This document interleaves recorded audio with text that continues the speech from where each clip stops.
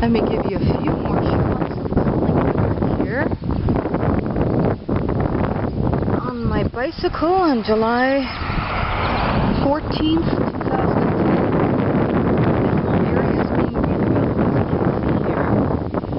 Uh, Collingwood used to be quite an industrial city actually. Lots of shipbuilding.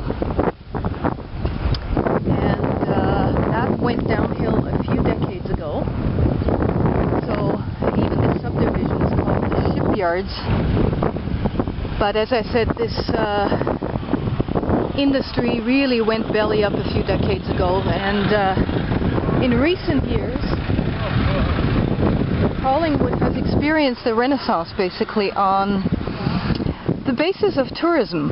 Um, not just state tourism or weekend tourism, but lots of people that own second homes, as well as people uh, who are retired that have uh, relocated here on a full-time basis and I'm really quite amazed. I haven't been in uh, Collingwood itself probably oof, for seven, ten years now. I can't remember when I was here last. Look at the nice shoreline here on Georgian Bay.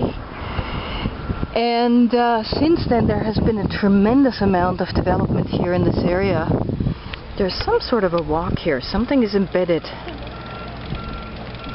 I think they're the names of French River, Mondoc, Soodoc. Warwich, Imperial Sarnia. I think they are names of ships from what I can tell. Possibly ships that have run aground somewhere in Canadian waters on the Great Lakes. But you can see the serenity around here.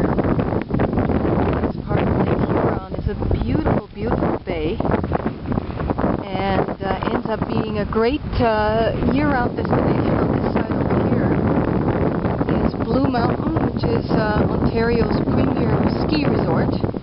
Now it's not quite of alpine proportions or Rocky Mountains proportions, but it is pretty much the best that we've got here in Ontario. And a very popular ski resort. This would be a very historic building here as well, the Collingwood Terminals. They're probably grain terminals, I think, when Collingwood was still an important port city and uh.